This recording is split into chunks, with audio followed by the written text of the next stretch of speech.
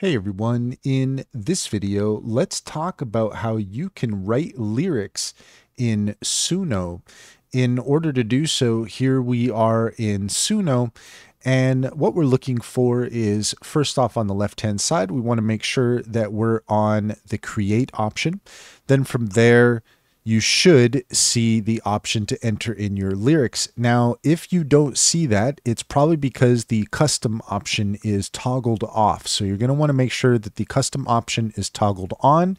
And also where it says instrumental, you want to make sure that that is toggled off. If those are both set correctly, then you should see the option to write your lyrics. Now, there's two ways of going about this. You can either enter in your own lyrics, or if you want Suno's help in writing a song, then right here you'll see where it says full song or by line, but we'll go ahead and select here where it says full song. And then here you could see that we can enter a prompt below to generate lyrics. So here you're going to describe the lyrics that you're looking for. We'll just keep it simple for now. We'll just say a love song uh, about kittens. Why not? We're going to do a love song about kittens today. We're going to then click write lyrics. But before we do that, you're going to see here this option where it says classic lyrics model. If you toggle that, you're going to see that we also have the option for ReMi. Now, bear in mind that this is only available in version 4, so you're going to need a subscription for this. But I have tried both, and I would say that generally speaking, I find the classic is a better way uh, of going about it. Uh, sometimes the ReMi can get a little weird. Um, it's up to you. Uh, if you want to play around with that, you could certainly uh, try, and sometimes you get some unique um, options. But uh, generally speaking, I find that the classic is really quite good for doing some interesting stuff and some sort of consistent lyrics. So let's just leave it to classic. We're going to go ahead and click write lyrics.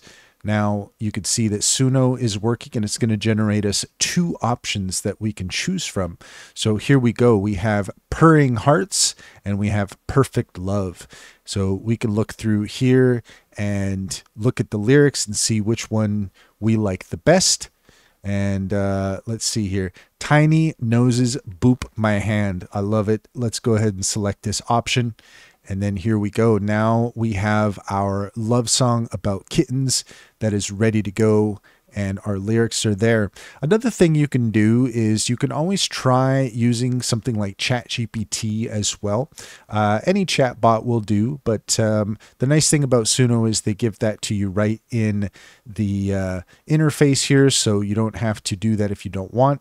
And here, then what you can do is if there's anything that you want to change, if there's any lines that you don't like, well, just go ahead and you can delete them and you can refine them. Just do whatever it is that you're looking to do to try to refine it as much as possible. Bear in mind here, you can see verse, verse two, chorus, verse three, and that's in brackets. So the way that Suno writes its lyrics is a good indication of how you should write your own lyrics. If you're going to do your own lyrics, then it's a good idea to follow the same format here and specify verse, chorus, verse, chorus, and keep that in brackets. Here's our bridge.